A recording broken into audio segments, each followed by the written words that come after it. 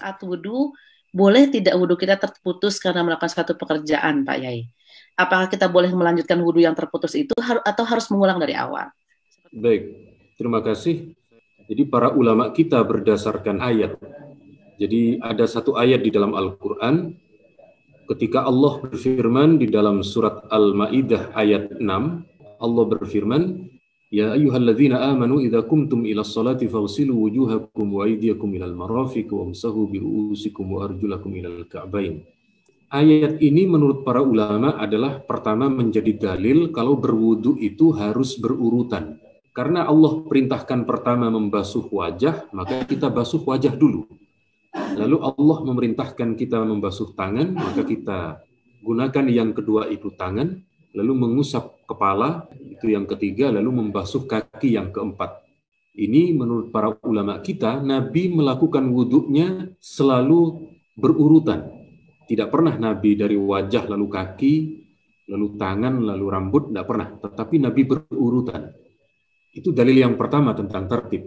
Berikutnya dari ayat ini pula, para ulama kita mengatakan wudhu itu dianjurkan untuk terus-menerus jadi setelah mengas membasuh wajah, langsung kita berwudu sesuai urutan itu.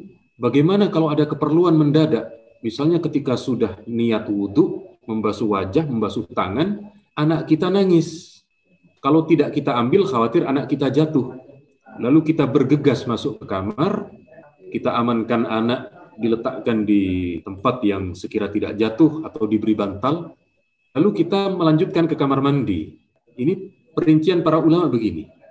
Kalau di kepala yang di wajah yang kita basuh masih basah, tangan juga masih basah, masih bisa melanjutkan, melanjutkan mengusap rambut lalu kaki.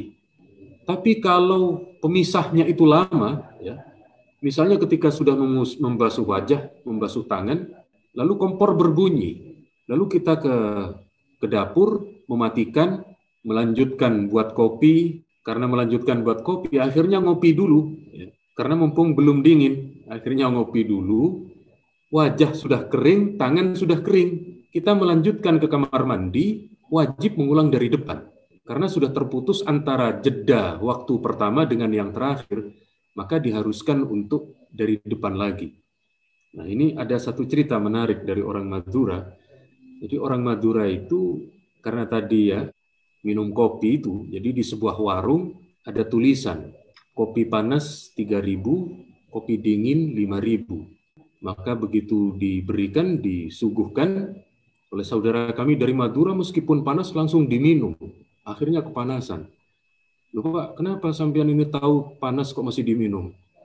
Ya kalau dingin nanti kan jadi 5000, makanya masih panas saya minum. Jadi hanya terbeda 2000 dia berkorban untuk meminum yang panas pada masalah yang ditanyakan, titik beratnya adalah antara wudhu pertama dengan wudhu kedua, jeda itu sampai menyebabkan kering atau enggak. Kalau menyebabkan kering harus berwudhu lagi.